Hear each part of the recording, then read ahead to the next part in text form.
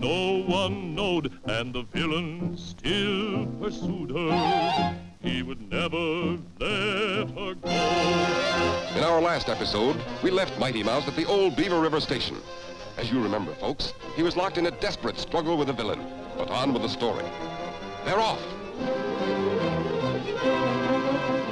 As far as Oil Can Harry is concerned, this is a fight to the finish. He says, As far as I'm concerned, this is a fight to the finish. Meanwhile, our heroine, Pearl Pureheart, is tied up in another room awaiting the outcome. Outside, a terrible storm is raging, and a bolt of lightning sets fire to the station. Mighty Mouse and Oil Can Harry are still at it.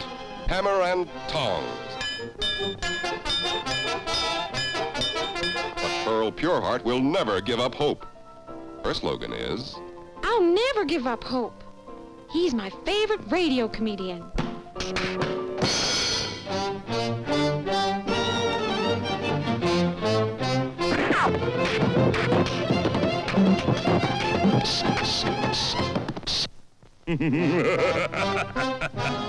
Good heavens! Has Oil Can Harry won?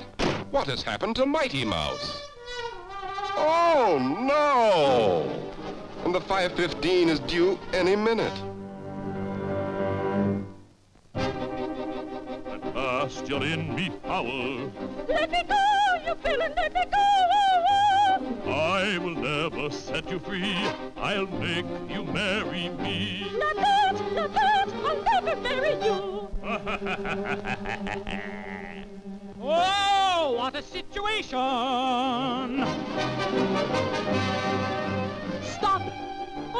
Jump right out! Stop, you little fool, you'll hurt yourself.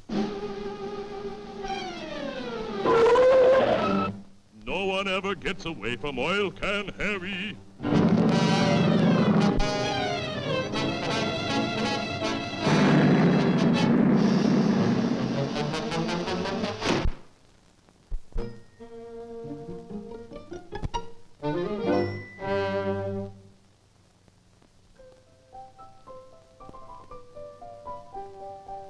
A lovely dancer. Isn't this romantic?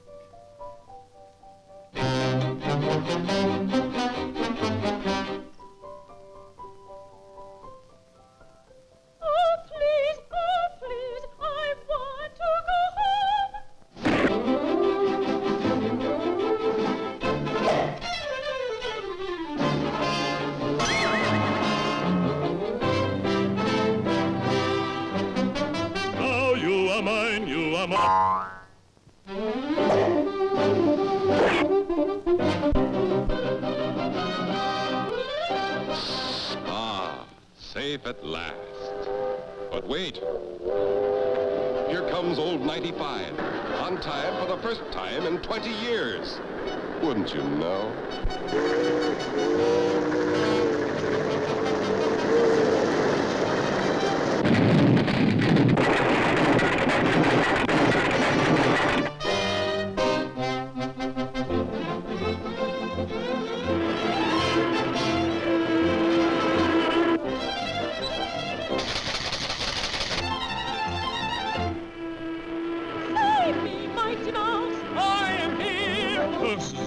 Me,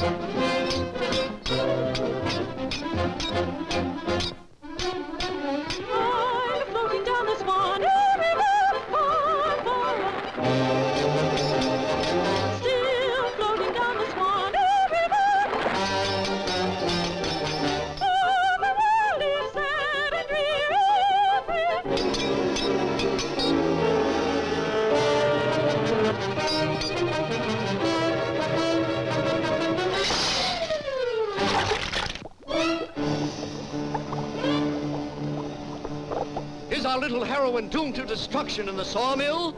Will Mighty Mouse arrive in time? See the following episode next week. Stop! Gosh, we can't wait until next week. Please show us what happens, won't you?